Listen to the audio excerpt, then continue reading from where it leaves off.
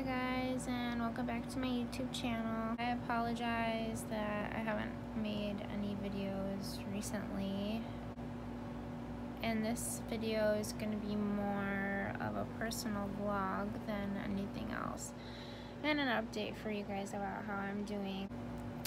So I'll just jump into it. I've been doing well physically so I am improving every day yeah, I mean, like some days are more difficult than others, but I've noticed a change in my pain, and like the only way I can compare it is that before surgery it was like really sharp, uh, constant, really, really deep uh, bone ache, and now it's more of like a um, more of a soreness kind of an ache and a lot of muscle pain but I was able to walk around in a Walmart and Target for the first time in months. I haven't been able to do that in a really long time, even months before surgery, just because between my leg and my spine, it was super difficult for me to like walk in a store that was bigger than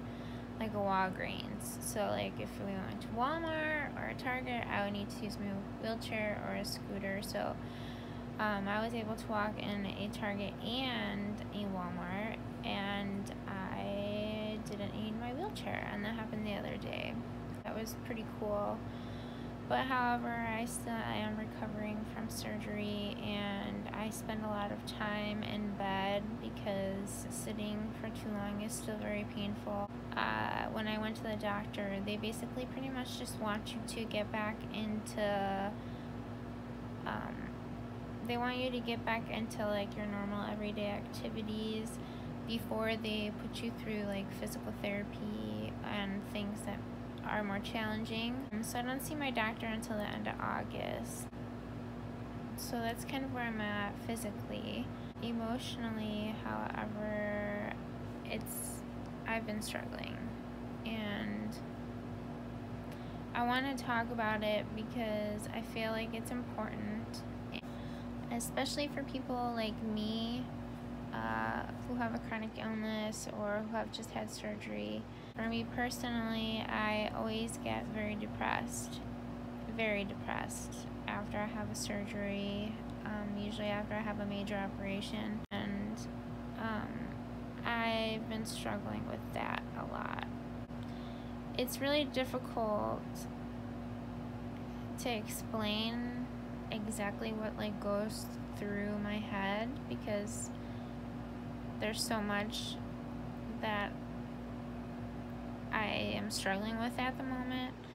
I haven't even talked to my therapist yet because I have been ignoring the traumatic experiences that I went through with the surgery because I went I did find this surgery to be the most traumatic surgery I've ever had for multiple different reasons. I haven't really talked to my therapist. I haven't talked to her about it yet, and I've been home from rehab for uh, about a month now. I've been struggling with my body image and with feeling confident about myself and this always happens to me after I have surgery and I don't know why. It just, I don't know, when you are a young individual, you know, I social media used to be a fun experience for me, but now, to be honest with you, as a disabled person, it makes me sad because I go online and I see people that are my age and younger and older who are out, you know, um, living their lives and having a lot of fun and traveling and having kids and getting married. Uh, that's not what my life looks like. My life is very different from somebody else who is my age. I am actually this upcoming November is my 10 year high school reunion and like I really want to go but at the same time I don't because I was used back then in high school. I had three major operations and I missed a lot of school. So I had two spinal fusion surgeries and I had one leg, major leg operation where they replaced the rod that I had in my left femur.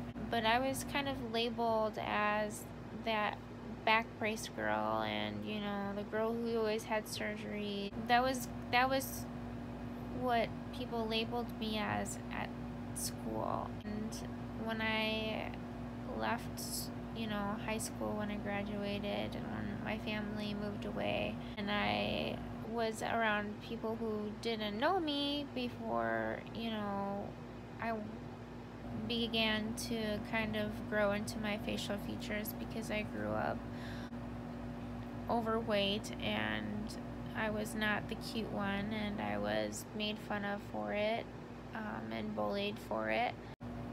But I'm scared to go to my reunion because I am in an even worse position now than I was then.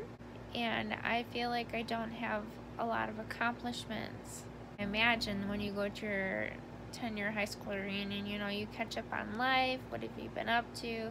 What are you doing for work? You know, like, are you married? How many kids do you have?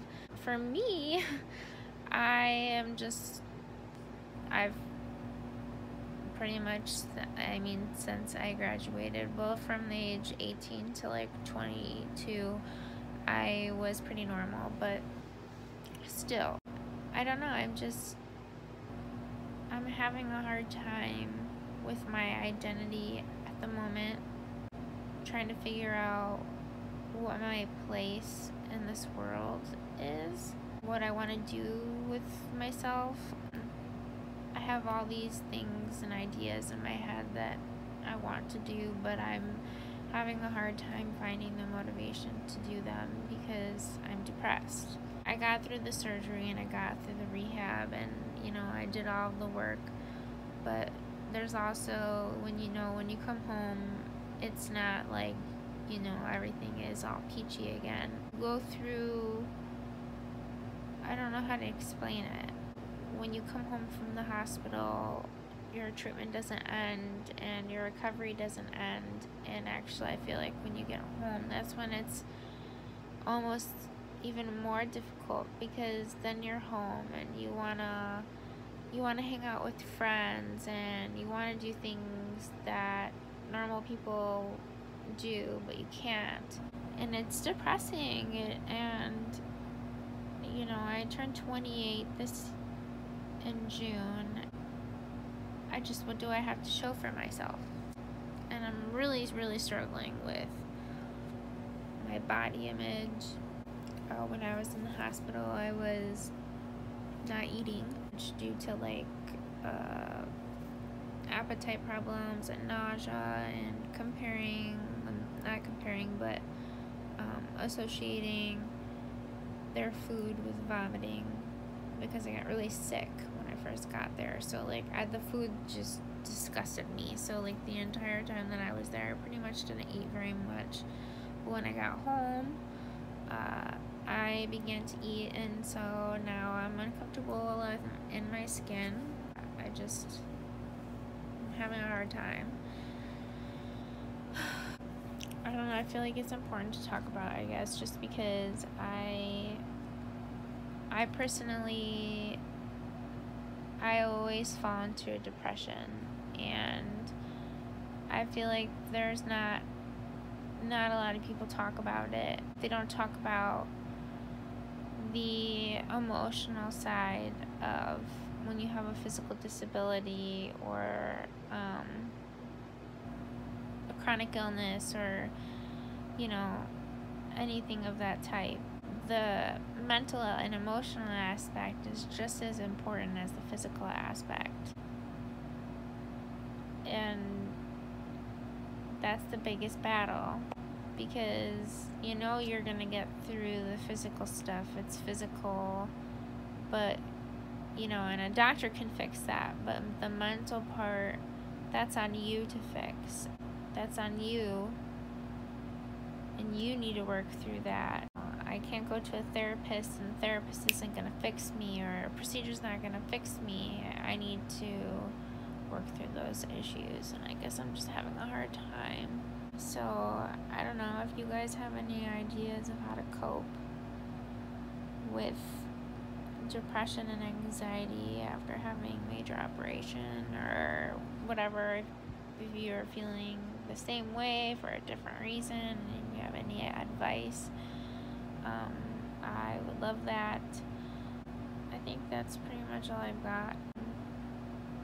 Just an update video about just being honest I know it wasn't like a happy woohoo video, but this is my life. This is what I'm dealing with. I'm gonna be honest about it. I don't know, I want to bring up the Demi Lovato issue um, where she overdosed the other day and she has been open and honest about her struggles with her eating disorder and her addiction issues and her alcohol um, problem and as somebody who has an eating disorder and has family who um, who has a family member who is an addict, I can look up to her for her being honest about her struggle and being vulnerable enough to share her story. So I wanted to share mine talk about it because people don't talk about it enough and it's not uncommon. People suffer from depression and they suffer from anxiety and they suffer from PTSD and they suffer from um, flashbacks and mental health mental health issues and bipolar and the list goes on and on and on and on and on and on and on and we need to talk about it because it is it needs to be talked about and people need to feel like they're not alone. I've been there. I've seen uh, how that affects people around you and just everything. I just felt like I needed to make this video. So um, if you would like to, like it, leave a comment, I don't know, subscribe to my YouTube channel. Make me happy. Um, and yeah, I guess I'll see you guys soon.